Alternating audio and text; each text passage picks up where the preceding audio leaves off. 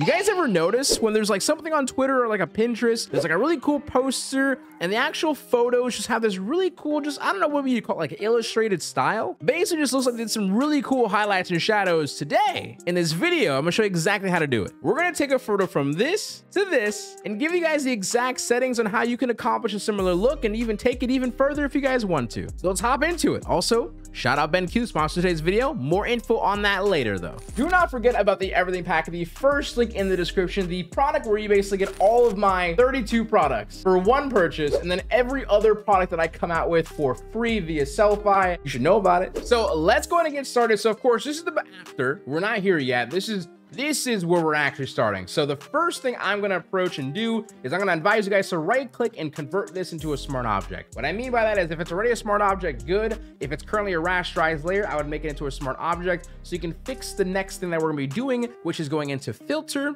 then choosing camera raw filter while we're selected on our photo layer and adding in our first color correction. What I like to do is I like to click this little button down here for the before and after, just like so. And now the only thing I'm gonna really touch on the light for the record is for the premise of this actual video itself this is more or less painting in your highlights and shadows. So i would highly advise you not to go really deep or really high with your highlights because you're going to really ruin the attempt and you're going to kind of put your exposure too high for highlights. You might put your shadows too low and it just might look really bad. So do not go below negative eight for shadows. Do not go above three for highlights. But if you put, put it a little bit, that way you get a, a little more of a clear distance or distinctive difference between your highlights and shadows and you're good to go for your light. What we're gonna do next is gonna do a little bit of texture. If you're a big fan of like that sport, gritty, grungy look, you can put your texture all the way to plus 100%. Or you could be a semi-normal person and go like the 40 range. I feel like that's pretty good. And I'm gonna use my uh, clarity as well and put this up just a little bit, not too much. If you're a fan of clarity, become a fan of texture. And I think your designs instantly get a tiny bit better. Maybe that's just personal preference. The last thing I wanna touch in here is the detail, which is we're gonna actually zoom in really, really close. We're gonna mess with the sharpening. So I bring this up all the way on 100% for a reason. Once you start seeing this pattern, which is like this artifacting pattern, that's when you know it's bad. So you basically want to kind of zoom in and kind of say to yourself, when does it not become as noticeable? And I would say like right around here, that looks really good. And just that little bit of clarity, that little bit of sharpening and your lights, you press okay, and you instantly already get a better photo that just looks a lot more cleaner and it's gonna be more fun to work with. Now that we have this, we can start off with the next thing, which I really wanna quickly do is if you have your smart object layer, you can double click on this little page. This will bring into your rasterized version of the layer, meaning before you made it a smart object, it gives you a nice little pop-up in a new document so you can mess around with it here and it'll update in your previous your other document, okay? All I'm gonna do is I'm gonna press J on my keyboard, and if you don't have the patch tool as your highlight, immediate highlight, click on the patch tool just like so. Now it's gonna basically go around anywhere that has any random blemishes and things that you obviously don't want. So all you really have to do is highlight around it, move it to a clear place, and you're good. And then Photoshop does the rest, okay? We are good with that. We can save it in this document, just like so. You see it saving. And when I close it down, it'll update in this document. If I just go Control Alt Z, you can see the before, after, just a quick little fix. You don't have to go too crazy. You can do a you can do a bunch of skin retouching.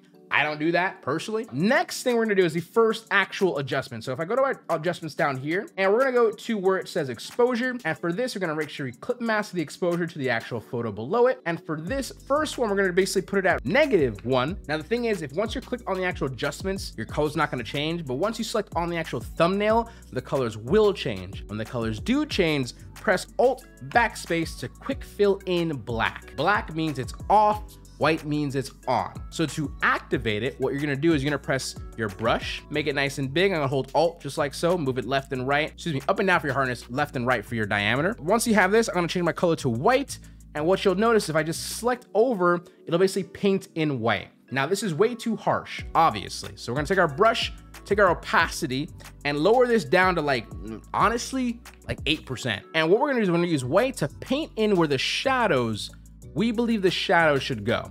Now, since we're at 8%, you can't really notice a lot, but the more you click, of course, in the same spot, the more that opacity kind of shows, just like so. So once his face is all good, I'm gonna go down to his shirt as well. While you're looking at me doing this, you might not even notice how much we've done, but if I kind of turn this on and off, we've actually done quite a lot. This is why it's pretty powerful. So once we've done that, we go down to the exposure. One more time, we're gonna add exposure again, click mask it as well. Click on the properties, and we're gonna use 0.45, press enter, and this is gonna be the highlights. Now, if 0.45 is too high, let's say in your highlights, it's just like very, very, very bright. I might even say 39 or so. So mess around with that, right? But you, you wanna make sure it's obviously that you're, you're increasing it, but don't go too high where it's washing out the photo. I might even say 34. And once you've done that, turn off the exposure layer, take your brush, make it white, and now we're only painting around the highlight area. But anywhere where you kind of have a highlight, we're just gonna basically add in a few clicks in the brush stroke and hopefully get to a place where we like it. So I'm gonna even go around the eyes as well. And really quickly, Jay, if you kind of zoom in to the actual layer mask here, you can kind of start to see your layer mask should basically kind of resemble that person or object that you're doing this effect to. Now, of course, you can always go back and say if you want it to be more vibrant,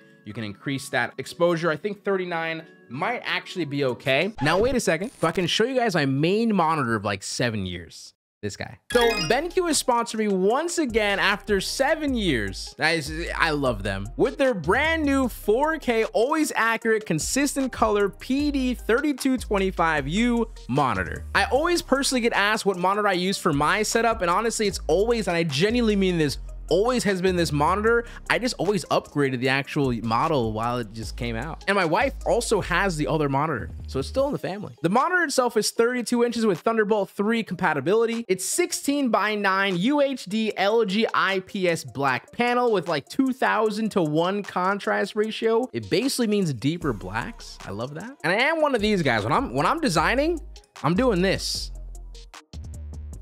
24 7 and it doesn't have any glare anti-glare and it's matte screen. It's honestly just it's beautiful. Now if i can just say the coolest part okay just for let me actually show you right now. So i do actually work on a laptop my far left if it's i'm rendering or just want to do something else or i just want to have my travel laptop ready to go. This laptop as you can see is connected to this monitor then which i press this over here and there BenQ's control block. They call it like a puck. I press this button right here. My monitor will then go from which might connect to my PC to then connect to my uh, Mac just like that. Is that that's sick? So what that does mean is you can connect your M1, M2, or Mac Studio to this monitor while you're also still connected to your PC and then have a KVM switch ready to go. That's sick. Thank you, BenQ, for basically coming in clutch my entire professional life as a designer. And just, yeah, I, I, just love this thing. And I think you guys will too. So don't forget to check on the description down below to check them out. And uh, yeah, let's get back to the video. So next thing is actually their eyes. So if you guys don't know, the more animated the eyes look, the more just like attractive or more attentive the person is. So the way you actually make things more animated is you basically go to Illustrator 101 where they kind of white out the eyes. So we're gonna do that same exact thing here by using actually a uh, hue and saturation. Clip mask this on the hue and saturation, go back to our properties, right? And then where we're gonna set this up is gonna take your saturation, lower this down, not where it's black and white. That's not natural. You wanna, of course, still have that redness, that's aliveness, that's the blood, right? You know, in their face and whatnot. And I would say about negative 22 feels pretty good for me personally, where it doesn't feel like they're like dead eyes.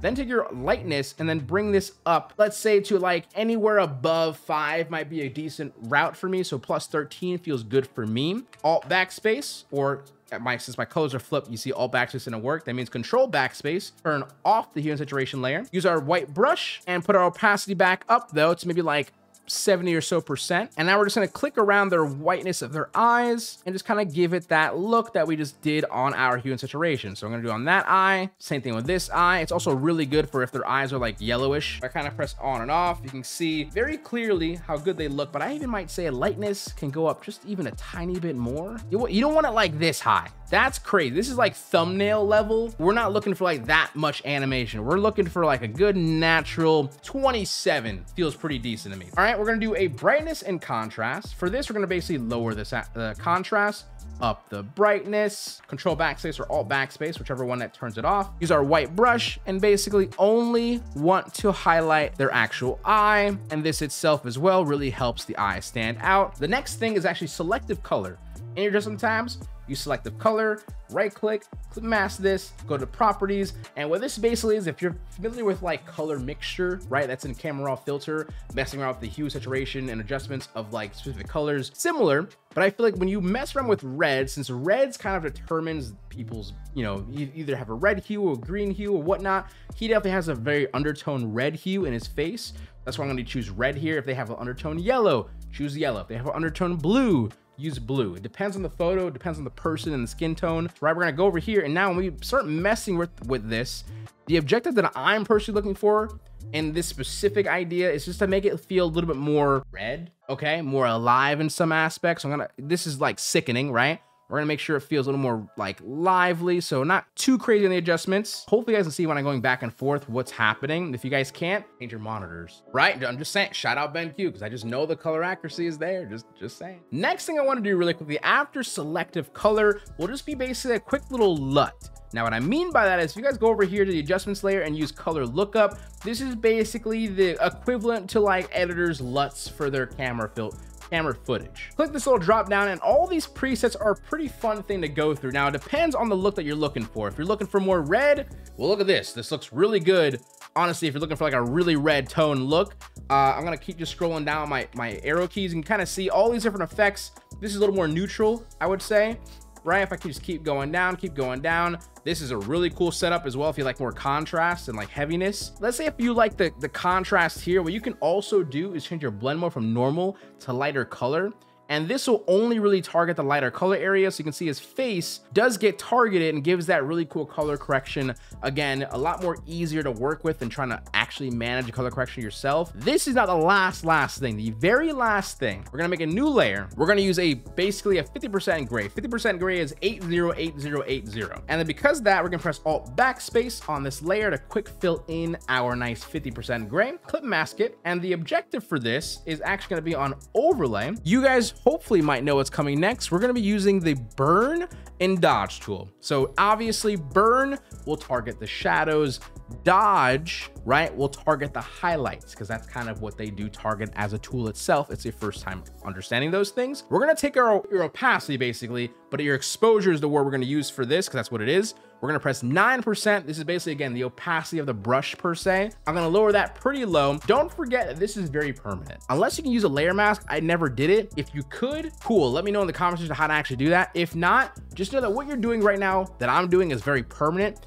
So go slow. First, what I'm gonna be doing is the burn tool. I'm gonna basically go around the areas of the shadows and just click a few times, okay? I think down here that jawline is always preferable. It just makes it look a lot more cut. Okay, same thing with the actual shirt itself. So I'm gonna make these folds look really, really good by just clicking that dodge tool very heavily. Once you're good with your actual burn tool, we're gonna use the dodge tool to do the same exact thing. Don't forget to re-change the uh, exposure. It does change. I'm gonna use 6%, which is lower because I do think highlights is a lot easier to mess up. What this dodge tool around where the highlights are, and just giving myself a nice look. But for me, I think this looks pretty good when I keep going in here. I'm gonna go into these folds as well. So right here looks really awkward, right? I don't love it. Now, if that happens, what I would recommend is using the sponge tool here. It's almost like you have to like imaginary, like you're like using the warp tool. Maybe it'll help it get rid of it, just soften a little bit more, right? So you can kind of see what's happening. And honestly, with that, I think we're done. And you can see the entire thing did change, but it looks really good. I think it's one of those things, if you enjoy that style, that kind of painterly-esque style, I think it's super fun to do. And you can see the before and after again, it really does show. And the more effort you put into it, you can take this as a first pass and then go again with all these different settings and just say, let me just start getting really detailed really meticulous. There's some people out there who paint like over like 10 different times. This strategy itself though that we portrayed in this entire like set of options is basically the overall idea on how you can approach it and make your own really cool style of like this really painterly-esque, poster-esque, detailed beauty period. I hope you guys enjoyed. Of course, do not forget, check out BenQ in the description down below. This is my main monitor for the last like seven years. I've had actually the same exact model. I just upgraded three times. That is no joke. So I just want to say, if you guys really do appreciate the idea of having a really good monitor, this is definitely one for you, especially if you're a person like me who works on a Mac at the same time in specific areas and you want like a KVM switch, super sick. So with that being said though, Thank you guys so very much for watching. Seso HQ out. Don't forget to keep smiling, stay positive, and stay freaking productive, guys. I don't much love. Peace and enjoy your day. And hopefully you come out with like a really cool poster style. And I see some really cool photos, color corrections out there. All right. Later.